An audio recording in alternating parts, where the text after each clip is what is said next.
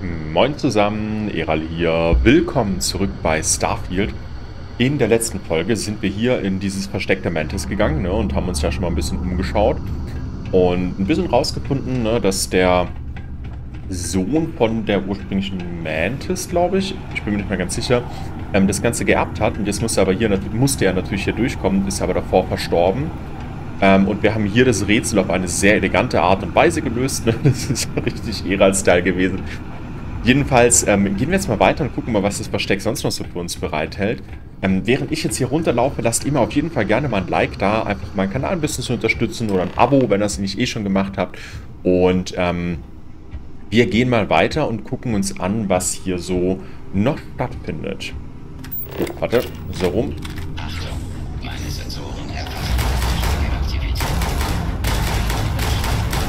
So, abgesehen natürlich hier von dem Oder was ist da hinten noch los? Oh, noch mal einer.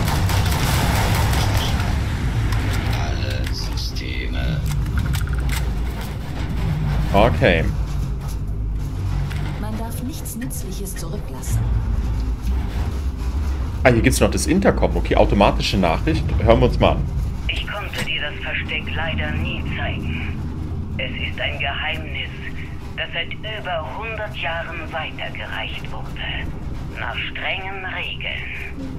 Erinnerst du dich, als du ein Teenager warst? Das Training und die Übungen, all das sollte dich auf diesen Moment vorbereiten. Ich glaube an dich, Leon. Okay, ja eben. Also er wurde quasi ausgebildet, die Erbe irgendwann zu übernehmen. Und nur wenn er hier durchkommt, wäre er würdig gewesen, so wie das klingt. Sein oder nicht sein? Nicht sein. Wetten? Nicht sein. Nicht sein. Nicht sein.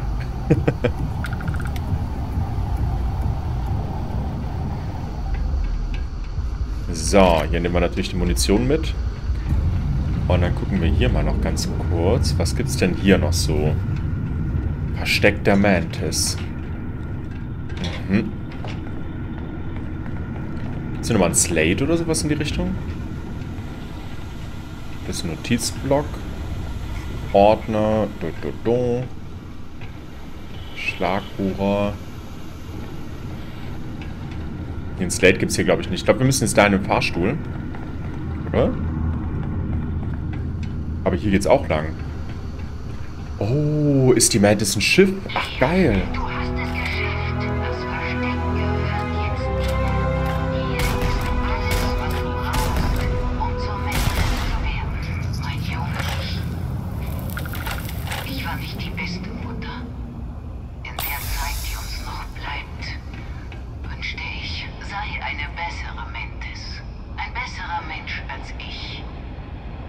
Mhm.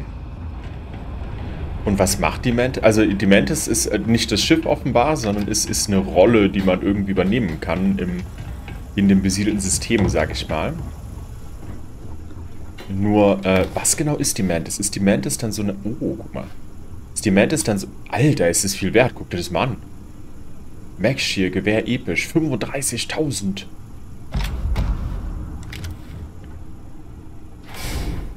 Was haben wir hier noch? Ähm, aber was ist denn die Mantis genau? Also das habe ich noch nicht so rausgehört. Aber das scheint irgendwie eine Art, ich nenne es mal Beschützerrolle oder sowas zu sein vielleicht. Irgendwie sowas in die Richtung. Warte, vielleicht können wir hier noch was nachlesen. Äh, verbrannte Erde, Achtung. Admin-Alarm, bitte melde dich von diesem Computer ab. Verbr äh, Vorgang verbrannte Erde hat drei offene Dokumente erkannt. Achtung, du hast eine Stunde bis zum Admin Override, äh, bis zum Admin Override Zeit, um, diese, um dieser Aufforderung nachzukommen. Du hast es dir verdient. Hallo Do Dorian. Hallo Doriane.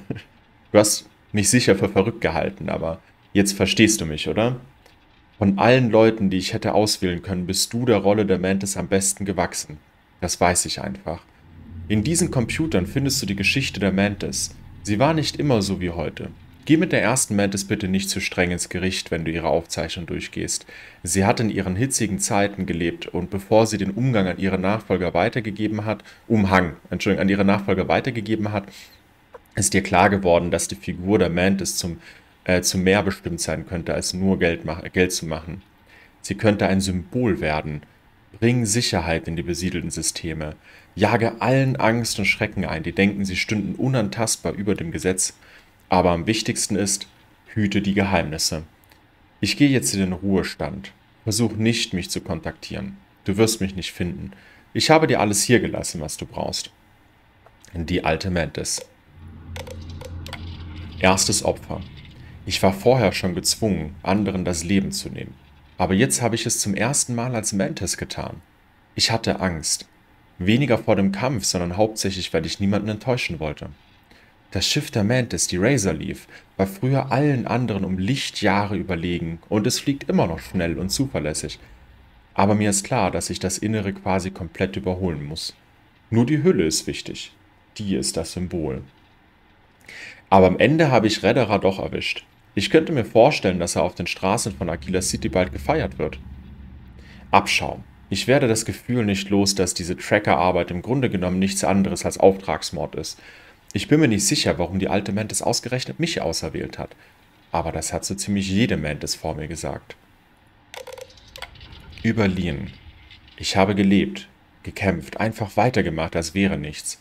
Aber ich kann immer nur an eine Sache denken. Du hast nur noch ein Jahr zu leben, Dory.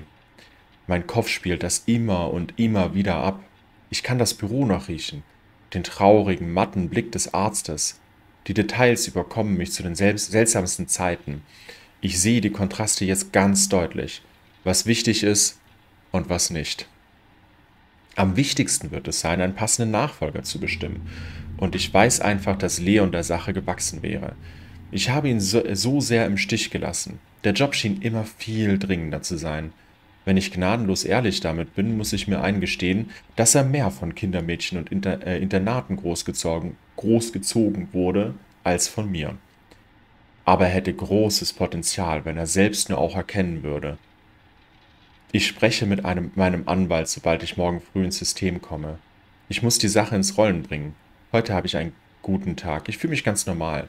Aber ich laufe durch die Welt wie eine Wolke. Mhm. Also tatsächlich so ein bisschen, ne? Also vielleicht hat man irgendwie angefangen, das Ganze so... Es sieht irgendwie doof aus, ich weiß auch nicht. Also bei jedem anderen Spiel hätte ich jetzt Angst, dahin zu laufen, weil das so aussieht, wie wenn da ein Jumpscare wartet. Und was heißt bei jedem anderen Spiel? Wenn das ein Horrorspiel wäre, sagen wir es mal so. Hier haben wir noch, ähm, ne, das, das gehört so, das ist die Marmormusterung hier von dem Waschbecken. Das ist einfach so. Okay.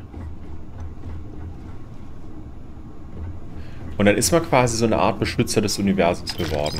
Ne? Also vielleicht hat man anfangs irgendwie so, ich nenne es mal Schutzaufträge übernommen. Ne? Also so, ich nenne es jetzt mal Security-Arbeit. Ähm, vielleicht sowas in die Richtung gemacht.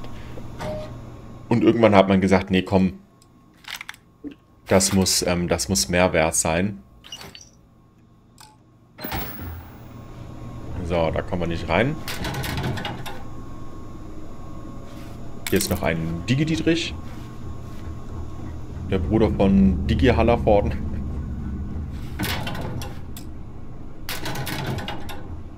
Hm. Na gut, wir gucken uns den Anzug mal an. Ausstellungspuppe. No, der Anzug ist ja nicht so gut. Muss ich echt sagen. Ne? Also hier äh, fast alles schlechter. Warte, wie, wie, viel, wie viel physischer Schutz? Ah, Mann, ich, ich würde gerne sehen, von wie viel zu wie viel man immer hat. Warte mal, jetzt haben wir 112. Ja, dann lohnt sich der nicht so richtig. Aber ich nehme ihn mal zum Verkaufen. Erfahre mehr über das Mantis-Versteck. Okay, wir gucken uns noch ein bisschen um.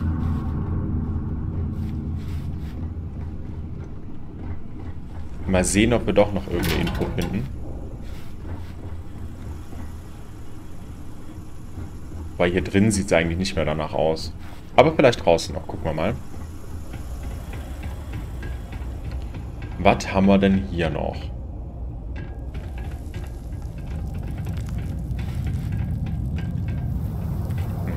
Mhm.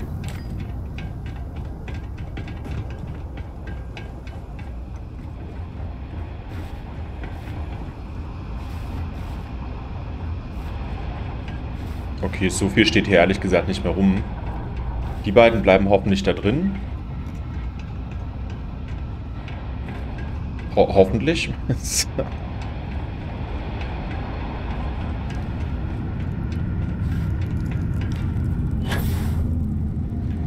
so, was ist das denn?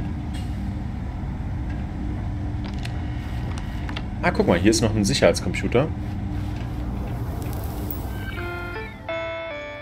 Security-Aufzeichnungen. Beschädigte Einträge nicht wiederherstellbar. Explosion erkannt. Notformatierung wird ausgeführt. Notfallverteidigung verbrannte Erde initiiert. Mainframe-Fehlfunktion. Formatierung bei 97%. Security offline. Vorgang beendet. Mhm, mhm. Okay. Vorgang verbrannte Erde abgebrochen. Das ist, kommt uns vielleicht zugute, ne? Dann kriegen wir hier noch ein, noch ein Schiff. So, hier nehme ich mal die Credits und die, äh, und die Muni noch mit. Mal sehen, was es hier noch so hat. Aber offenbar auch nicht mehr so viel Interessantes. Mal mal Licht an gerade.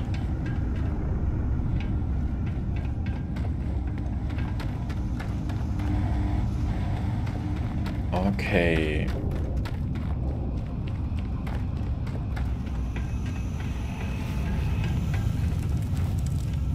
Hier können wir das Schiff aktivieren.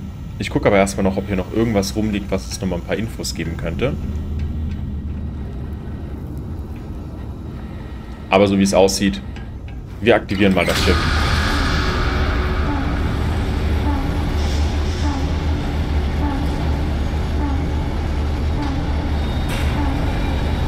Mann, jetzt wird es mir wieder weggenommen. ich glaube, wir müssen jetzt hochfahren, oder? Ja, mit, mit dem Aufzug, den wir schon gefunden haben. Das ist ja super gelöst, ne? Also auch wenn du da mal schnell los musst, weil irgendwas in Gefahr ist, du irgendwie beschützen willst oder sowas, da musst du erstmal hier reinrennen, musst den Knopf drücken und dann musst du wieder rausrennen, um dann ins Schiff zu steigen. Das, hätten, das hätte man besser lösen können, ne? Also, da hätte es sicher einen Ingenieur gegeben, der da eine bessere Idee gehabt hätte. Aber gut, auch zu Ebene 0.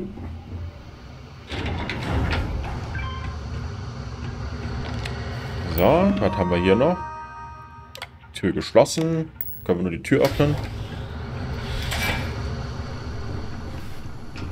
Ah, guck mal hier. Automatisierte Nachricht. Sehr gut, Leon. Du hast es fast geschafft. Ich weiß, dass du es schwer hattest. Die Mantis zu sein, ist eine schwere Last. Aber du kannst so viel Gutes tun. Den Spacern und Piraten das Fürchten lehren ihnen klar machen, dass manche Grenzen nicht überschritten werden dürfen. Du hast das Zeug dazu, Leon. Ich weiß es. Konzentriere dich weiter. Es ist nicht mehr weit. Na gut. Na dann gucken wir doch mal, ob wir damit wieder ein paar Spacer aktiviert haben oder sowas. Die dann auf dem Weg hierher sind.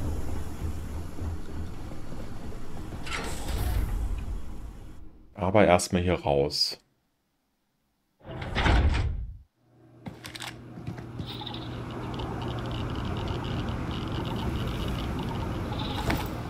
Die war, okay, ja, wobei, die ist über 12.000 wert, nehme ich mal mit. Nachsehen lohnt sich immer. Man weiß nie, was man in den Taschen findet.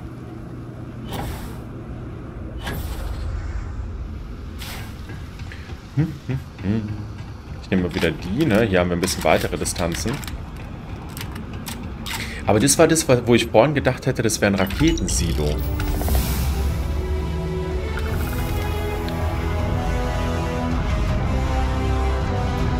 Okay. Aktivität, sprich mit Barrett, okay. Razorleaf. Wir steigen mal ein, wir gucken uns Razorleaf mal an. Und mal gucken, was das Schiff so kann. Ach so, oh Gott. Das war ja gerade der Eingang. Na gut. Hallo, Andrea. Na? Ich bin, ich bin Profi auf vielen Gebieten. So. Also, hier geht es wahrscheinlich direkt zum Cockpit, oder? Genau, hier haben wir das Cockpit. Hier haben wir so das Captains Quartier, sowas in die Richtung. Und dann gucken wir mal nur noch, was oben ist.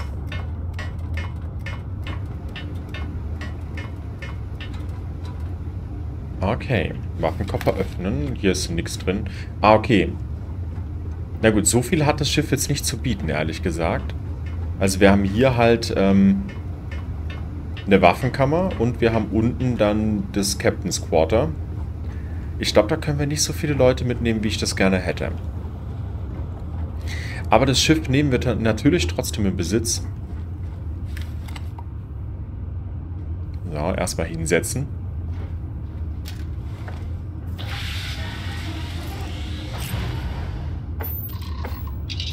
Und dann heben wir mal ab.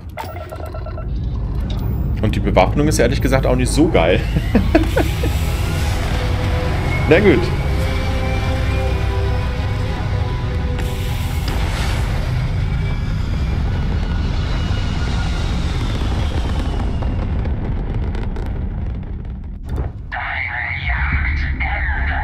Ja, super. Jetzt haben wir ein schlechteres Schiff und müssen uns jetzt mit dem mit einem Sternblut auseinandersetzen. Wo auch immer das ist. Ah, hier.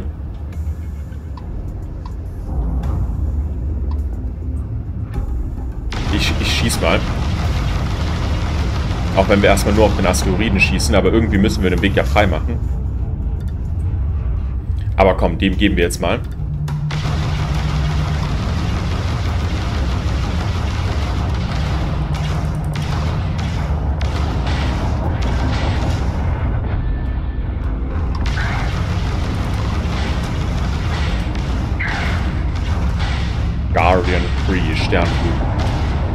Noch hält unser Schild einiges aus. Können wir hier, warte mal, können wir hier die Antriebe kaputt machen? Wie Ziel verloren.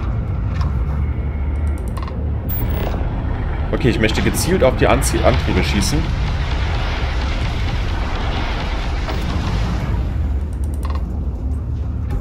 Zielerfassung.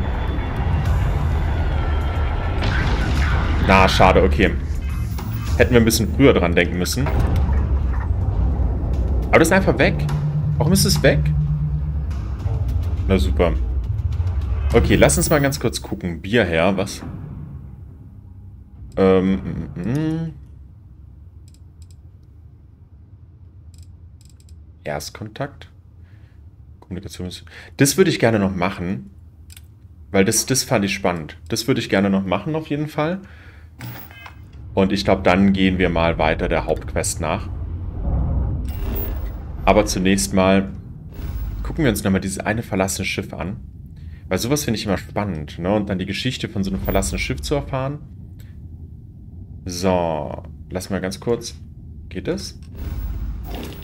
Weil da mache ich zwischen Folgen nämlich noch ganz kurz ein, ein, ein Dingens. Äh, ein, ein Thumbnail. Das würde ich aber gerne hier machen. Ihr werdet es schon gesehen haben in der Zeit, aber... Na gut. Also, Orbit von Porima. Hier, dann springen wir da mal hin.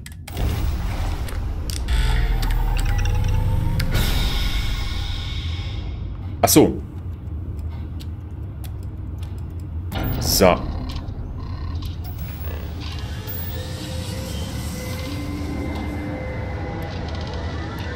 Hoffentlich fliegen wir nirgendwo dagegen. Aber ich glaube, das sieht gut aus.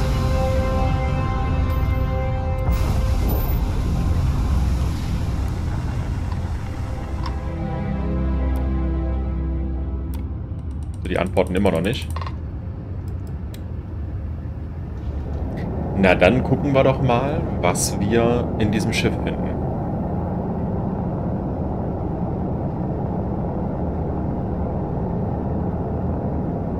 Also ich meine, es muss ja schon ein bisschen was Besondereres sein, wenn halt, äh, wenn halt eine Quest da ist, ne?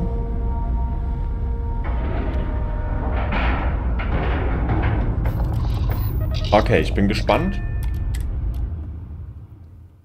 Und wir treten ein und gucken mal, was uns erwartet. Immer wieder ein schöner Moment, zum Schiff zurückzukehren.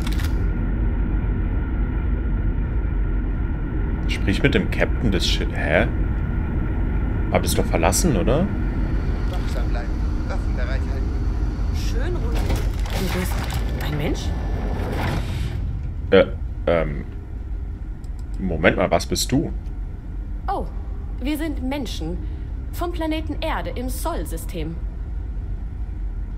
Okay. Natürlich bin ich ein Mensch. Ich nehme mal an, du hattest jetzt was anderes erwartet. Wir hatten nicht erwartet, auf Leben zu stoßen, schon gar nicht auf menschliches. Wir dachten, außer uns hätte niemand die Erde verlassen. Ihr dachtet, ihr seid die Einzigen? Ich fürchte, ihr wusstet sehr viele Dinge nicht. Wollen wir unsere Gäste nicht begrüßen? Natürlich, meine Manieren. Ich bin Captain Diana Brackenridge. Das ist Security Officer Bomani Reader. Hm, Und das ist Dr. Mabuti da Costa, einer unserer Ältesten. Ist mir ein Vergnügen. Was ist das denn für ein Schiff? Du befindest dich auf dem Erdkolonistenschiff Constant. Wir sind vor vielen Generationen vom Planeten Erde aufgebrochen, um eine neue, bewohnbare Welt zu kolonisieren, im Geiste unserer Ahnen vor fast tausend Jahren. Warte mal, vor tausend Jahren? Ich habe noch nie so ein Schiff gesehen. Was kannst du mir über diese Konstruktion erzählen? Ich kenne nicht alle Details, aber ich sage dir gerne, was ich weiß. Es ist ein Kolonistenschiff. Es wurde vor langer Zeit von unseren Vorfahren gebaut, um uns jahrhundertelang im All überleben zu lassen, über Generationen hinweg. Es ist robust, schnell und geräumig. Der letzte Punkt ist wichtig, weil wir möglichst viele Vorräte mitnehmen mussten und gleichzeitig genug Platz für die Crew brauchten. So, es ist so eine. Ach Gott, es ist so, eine, so ein Generationenschiff, oder? Also so, ne, es gibt ja so Generationenraumschiffe, die dann halt äh, losgeschickt werden und dann halt irgendwie 5, 6, 7, 10, 12 Generationen erstmal auf diesem Schiff nur leben, bis man dann irgendwann dort ankommt, wo man hin möchte, wenn man jetzt halt noch keine, äh, keine Graph-Antriebe oder sowas hat, ne? Aber jedenfalls, ich bin Eral. Bis zum nächsten Mal. Nee, aber ich bin Eral und ich bin hier, um zu helfen. Ah, wie du vielleicht erahnt hast, sitzen wir etwas in der Klemme. Als unser Schiff nach fast 200 Jahren endlich ankam, war unsere neue Heimat bereits kolonisiert worden. Von, nun, das wissen wir nicht. Alle Kommunikationsversuche waren vergeblich. Du kommst daher gerade recht. Vielleicht könntest du vermitteln zwischen uns und, nun ja, den anderen. Hm. Unglaublich, 200 Jahre? Warum hat die Reise denn so lange gedauert? Ah, deine Frage bestätigt eine unserer jüngsten Theorien. Offenbar wurde während unserer langen Reise eine Überlichtgeschwindigkeitstechnik oder eine raumkrümmende Technik erfunden. Das würde erklären, warum wir so weit draußen im All auf Menschen treffen. Die Technologie hat uns irgendwann überholt. Interessant. Ich kann nur mutmaßen, dass unsere Ahnen dachten, die Technologie würde nie funktionieren. Deswegen haben sie wohl entschieden aufzubrechen. Okay. Ich, also sind das quasi, also, ne, sind frühe Kolonisten, die halt losgefahren sind äh, mit, mit, mit so einem Generationenschiff und dann seit Ewigkeiten im All festhängen. Und die haben jetzt natürlich, die haben das dann nicht mitbekommen, dass halt so ein Graph-Antrieb mittlerweile erfunden. Ah, okay, ja, das ist ja, das ist ja cool. Wie habt ihr 200 Jahre lang denn überleben können? Tja, die kurze Antwort, gar nicht. Es ist ein Generationenschiff. Die meisten haben ein langes, glückliches Leben an Bord geführt und die Mission an ihre Kinder weitergegeben. Es war nie beabsichtigt, dass die ursprüngliche Crew unser Ziel erreicht. Es ging im Grunde immer nur darum, das Überleben der Menschheit zu sichern. Wobei das wohl ein wenig anmaßend war, wie wir nun wissen. Hm. Und du weißt also von Menschen auf der Oberfläche? Ja. Naja, quasi. Wir haben dank unserer Ausrüstung Gebäude gesehen. Und es sind immer wieder Schiffe vorbeigekommen. Manche wollten sogar kommunizieren, aber vergeblich. Wir wussten natürlich nicht, dass sie von Menschen geflogen werden. Hm. Ich würde prinzipiell gerne mehr erfahren, aber vielleicht sollten wir erstmal aus dieser Luftschleuse hier raus. Oh ja, natürlich. Wo sind nur meine Manieren? Also dann, kommt bitte mit. Wir müssen erstmal einiges besprechen. Dazu gehen wir auf die Kommandobrücke. Dr. Da Costa, du kannst in dein Quartier zurückkehren. Danke, Captain. Ich folge dir auf die Brücke. Aus Für den. Umgang mit Gefahren außerhalb Ich glaube, des wir haben von unserem Gast nichts zu befürchten. Aber wenn du Wedel nicht so mit deiner Waffe herum. Wir wollen sie nicht in Aktion sehen. Willkommen auf dem Erdkolonistenschiff Constant. Der 2100er Jahre hat mein Vorfahr Rupert Breckenridge eine Reihe wissenschaftlicher Szenarien erforscht. Klimawandel, Asteroideneinschlag, Atomkrieg, globale Pandemie und mehr. Alle Szenarien haben ein Massenaussterben innerhalb der nächsten 50 Jahre vorhergesagt. Er war überzeugt, dass die Erde unbewohnbar werden würde. Und wir dachten, dass genau das geschehen ist. Er hat also die besten und klügsten Köpfe versammelt, die Constant gebaut und Kurs auf diesen Planeten gesetzt. Das Schiff war damals das größte, fortschrittlichste Schiff, das je auf der Erde gebaut wurde. Ganze Generationen wurden auf diesem Schiff geboren, haben hier gelebt und sind hier gestorben. Der Beweis, dass die menschliche Genialität und Hartnäckigkeit keine Grenzen kennen.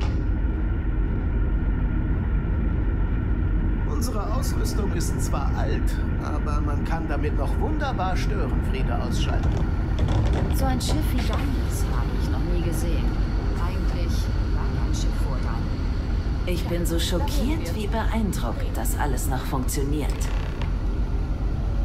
Da du jetzt hier bist, hat meine Crew endlich die Chance auf ein neues Leben. Wie lange bist du denn schon Captain dieser Crew? Es sind jetzt sechs Jahre? Ich war noch ein Teenager, als mein Vater gestorben ist und mir das Amt vererbt hat. Das ist Tradition. Deswegen war quasi alles Learning by Doing. Ich konnte nicht wie vorgesehen jahrelang vom vorherigen Captain angelernt werden. Ich glaube, manche auf dem Schiff sind etwas angefressen, weil ich nicht so viel Erfahrung habe wie meine Vorgänger. Andererseits hätten wir es ohne meine Führung wohl nicht so schnell hergeschafft. Wie geht es denn so deiner Crew? Alle sind durcheinander, wie du dir vorstellen kannst. Verwirrt, weil wir nicht alleine sind. Und auch besorgt, wie es jetzt wohl weitergeht. Wir hoffen zwar, dass wir mit den Menschen auf der Oberfläche zu einer Einigung kommen, aber sie scheinen etwas zögerlich zu sein, also wer weiß. Ich weiß nur, dass wir nicht ewig hier im Orbit bleiben können. Das Schiff wurde gebaut, um uns jahrelang am Leben halten zu können. Mit reichlich Backup-Systemen. Aber auch das hat irgendwann ein Ende. Ist es denn schwierig, Captain eines Kolonistenschiffs zu sein? Hm, das ist das falsche Wort. Es kann herausfordernd sein, aber auch aufregend. Wir sollten die Menschheit auf einer fernen Welt neu aufbauen. Wir dachten, wir wären die letzte Hoffnung. Es saß immer ein Breckenridge auf dem Stuhl des Captains, aber dass ausgerechnet ich jetzt die letzte Etappe der Reise leite, ist wirklich berauschend. Da nun aber im letzten Augenblick dieses Hindernis vor uns liegt, sind wohl schwierige Entscheidungen nötig. Okay, also es klingt insgesamt, als könntet ihr durchaus Hilfe gebrauchen. Naja, wie schon gesagt, alle unsere Kommunikationsversuche sind gescheitert, bis du aufgetaucht bist. Aber versucht haben wir es. Aber wenn du schon fragst, vielleicht könntest du als diplomatischer Kanal zwischen uns und ihnen dienen, damit wir eine Lösung finden. Wäre das für dich akzeptabel? Hm, was stimmt denn mit eurem Com-System nicht? Unsere Ausrüstung ist vermutlich völlig veraltet, verglichen mit dem, was jetzt alle haben. Ehrlich gesagt hatten wir nicht erwartet, überhaupt jemanden zu erreichen. Unsere Com ist nicht sehr robust, das schränkt unsere Optionen ein. Wir haben es sogar mit Licht- und Schallsignalen versucht, wie in einem dieser alten Filme. Aber ich glaube nicht, dass es funktioniert hat. Möglicherweise hat es sie sogar ungewollt aufgeschreckt. Aber ich helfe gerne. Sag mir einfach, was ich tun soll. Wir wissen, dass unten auf dem Planeten eine Siedlung ist und jemand vor uns dort war. Wir beabsichtigen, diesen Planeten zu besiedeln, aber da sie schon hier sind, werden sie ihren Anspruch verteidigen wollen. Wir möchten, dass du uns vertrittst und uns hilfst, eine Lösung auszuhandeln, die im Idealfall uns begünstigt? Und warum sucht, sucht ihr euch nicht einfach einen anderen Planeten? Auf Grundlage der Daten, die unsere Vorfahren zum Beginn dieses Projekts hatten, wurde dieser Planet als perfekte neue Heimat auserwählt. Selbst wenn wir eine passende Alternative hätten, kämen wir mangels Ressourcen niemals dort an. Die Reise hierher hat schon 200 Jahre gedauert. Unsere Leute wollen nicht weiter durch das Sternenmeer treiben, wenn ihre Kinder am Ende auf einem minderwertigen Planeten leben müssen. Ja, wir könnten ja alle ins Raumschiff packen und dann einfach 10 Graph-Sprünge hin und her machen und dann. Na gut. Äh, wie konnten andere diesen Planeten besiedeln, wenn ihr ihn schon beansprucht hattet? Als wir die Erde verließen, gab es im tiefen All noch keine beanspruchten Planeten. Wir nahmen an, dass niemand außer uns eine generationsübergreifende Reise antreten würde und eine förmliche Beanspruchung daher nicht nötig wäre. Mein Vorfahr Rupert Breckenridge hatte damals aber beantragt, dass die erste Kolonie dieses Planeten New Jamestown heißen sollte. Seinen Aufzeichnungen zufolge nahm ihn bei der Antragstellung niemand ernst. Der Antrag wurde also entweder ignoriert oder er ging irgendwann verloren. Da die Menschheit damals nicht daran interessiert war, die Weiten des Alls zu besiedeln, hätte das kein Problem sein sollen. Aber es kam dann eben doch anders. Hm, ich werde es versuchen, aber Diplomatie erfordert auch Kompromisse, ne? Ja, ja, natürlich. Aber wir müssen unsere Ziele von Anfang an mit Nachdruck vertreten. Falls nötig, können wir auch Kompromisse eingehen. Eine gute Lösung für alle finden. Aber unsere Ausgangsposition ist, dass sie den Planeten uns überlassen sollen. Mach ihnen das klar. Gib mir Bescheid, wie sie reagieren. Dann sehen wir weiter. Also, mein, nichts für ungut, aber ich meine, so ein Planet, der hat ja eine gewisse Größe, oder? Also, ich meine, ich, wir, wir hatten es ja jetzt schon öfter im, Let's, im Laufe des Let's Plays. Die Fragestellung, warum eigentlich auf jedem Planeten immer nur irgendwie ein, zwei Städte sind. Weil ich meine, wenn man mal überlegt, was spricht denn, jetzt überleg dir mal, du hast da eine Siedlung, die ist meinetwegen sogar riesig, ist, ne, ist irgendwie so groß wie New York City oder sowas. Und wenn du dann halt noch eine zweite Siedlung hast, die genauso groß ist, sagen wir mal Tokio, dann müssen die ja nicht mal was miteinander zu tun haben. Dann können die doch ganz, ganz friedlich und, und, und gut koexistieren. Also das verstehe ich nicht, warum man dann immer gleich einen ganzen Planeten haben muss irgendwie. Aber gut. Ah, hier steht übrigens die Frage. Tja. Horrimer 2 ist riesig. Warum besiedelt nicht, ihr nicht die andere Seite fern von den anderen? Daran haben wir auch gedacht, aber das funktioniert nicht. Ich muss die Zukunft unserer Leute im Blick haben. Die erste Siedlung mag ja klein sein, aber unsere Vorgänger wollten, dass sich unsere Zivilisation auf dem Planeten ausbreitet. Das wird schwierig, wenn jemand anderes das Gleiche vorhat. Der Gedanke des Teilens ist uns nicht vollkommen fremd, aber es ist einfacher, wenn diese Welt nur uns gehört.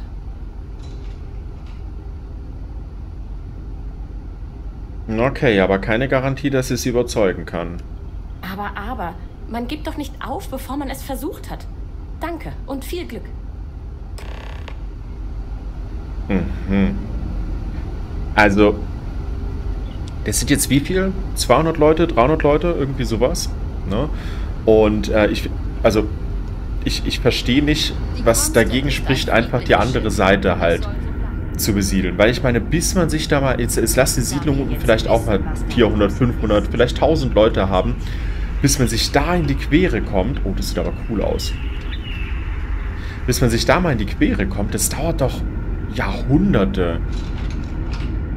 Und in den Jahrhunderten könnten ja auch genauso könnte ja auch genauso hier äh, die, die, die neue entstehende Zivilisation aus den Leuten hier sich schon irgendwie gegenseitig verfeinden oder also ja, ich meine, also cooles Konzept. Äh, ich finde die Quest insgesamt ganz cool. Ich finde es auch cool, dass es hier so ein altes Schiff gibt, das losgeflogen ist und dann den, Techno den technologischen äh, Wandel überhaupt nicht mehr mitbekommen hat. Finde ich richtig cool, ne? richtig, richtig geil. Aber irgendwie diese Herleitung mit, ja, wir wollen den ganzen Planeten haben, finde ich irgendwie komisch. Aber gut, ähm, ich würde sagen, wir erkunden in der nächsten Folge einmal kurz ein bisschen noch das Schiff, ne? dass wir einfach mal sehen, wie es hier so aussieht. Und würden dann äh, mal runterfliegen auf den Planeten und mal gucken, was wir erreichen. Auch wenn ich eher für eine Kompromisslösung bin, muss ich ehrlich gestehen, weil ich finde das ein bisschen überheblich, ehrlich gesagt, zu sagen, oh, wir jetzt alles haben, ne? Und ihr müsst jetzt bitte von diesem Planeten verschwinden. Also das ist. Oder was spricht denn dagegen, da halt mit zu siedeln? Ne? Also wenn dann halt irgendwie. Wir haben hier strenge Regeln. Ähm, Sie sind nicht ohne Grund. wenn dann halt irgendwie die schon eine Riesensiedlung haben und sowas, dann könnte man ja auch einfach sagen, okay, wir besiedeln das einfach mit denen zusammen oder sowas. Haben wir 200 Leute plus 200... Naja, egal. Auf jeden Fall ähm, würde ich mich jetzt an der Stelle erstmal ganz, ganz herzlich bedanken fürs Zuschauen. Ne? Schön, dass ihr noch dabei seid. Lasst mir auf jeden Fall gerne mal ein Like oder ein Abo da und äh, schreibt vielleicht mal in die Kommentare, weil wir uns ja so langsam aber sicher dem Ende nähern, was wir so als nächstes Projekt machen könnten. Würde mich sehr über Vorschläge freuen. Und äh, ja, ansonsten würde ich sagen, ich bin Eral. Bis zum nächsten Mal.